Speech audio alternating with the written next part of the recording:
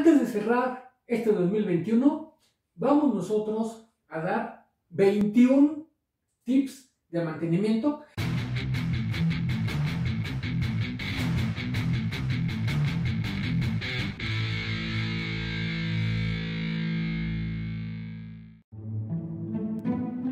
Vamos a la parte de autos y también en general. Es bien importante que el aceite del motor, de la transmisión y en su caso del eje, eh, trasero o cualquier otro que sea, debe de cambiarse periódicamente. No importa si le pones de el que dura 100.000 kilómetros, del que es alto kilometraje o cualquier otro por el estilo, es importante siempre cambiarlo periódicamente.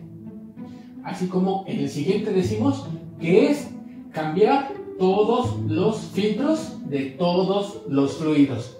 Ya que estamos hablando de todos los fluidos, es importante decir que debemos de revisar estén en su nivel correcto. Recuerda que en los depósitos de cada uno hay una marca para un nivel mínimo, nivel máximo y la idea es que esté a la mitad de ambas cosas.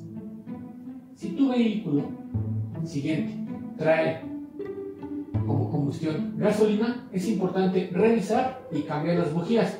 Igual por un periodo que va a depender de si son de las tradicionales, si son de platino, si son de iridio, de cualquier otra cosa por el estilo. Otro, es bien importante manejar de manera adecuada, evitando dañar mi vehículo, porque se van a dañar todo lo que son los compuestos que están en contacto con el camino y que pueden dañarse ahí mismo o pueden transmitirle la problemática a algún otro componente que esté más adentro, inclusive ahora sí, algunos que ni parecería que puedan llegar a dañarse. Otro punto importante es revisar que todas las luces del vehículo operen correctamente desde el frente hasta la parte de atrás. Y hay que revisarlo de preferencia en la noche para saber si de verdad están operando adecuadamente.